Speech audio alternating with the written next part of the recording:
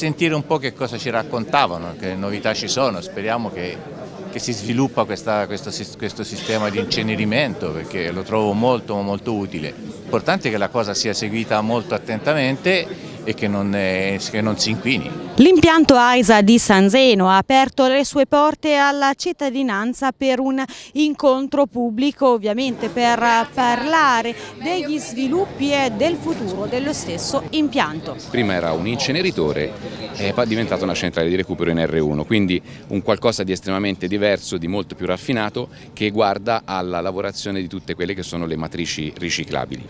Dato che eh, gli obiettivi di raccolta differenziata di qui ai prossimi anni prevedono proprio un grosso incremento di questi quantitativi eh, di rifiuti differenziati, questa centrale ha presentato un progetto che oggi viene in una sorta di open day presentato a tutta la cittadinanza di implementazione delle linee di lavorazione delle materie organiche riciclabili con l'aggiunta di un biodigestore che potrà eh, estrarre anche del biometano da queste matrici compostabili.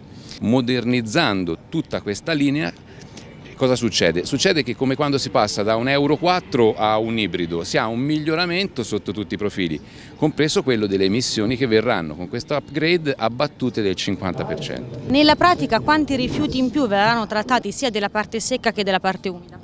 Allora, noi si prevede un incremento, abbiamo chiesto un incremento di 90.000 tonnellate, pari cioè passando così da 100.000 a 190.000 tonnellate che è il totale dei rifiuti prodotti dalla provincia di Arezzo. Ed è sempre nell'ottica dello zero spreco che nel comune di Fogliano della Chiana arriveranno le compostiere per tutti i sabati di marzo faremo il sì. Compost Day, quindi daremo concessione ad uso gratuito a tutti i cittadini che faranno richiesta una compostiera.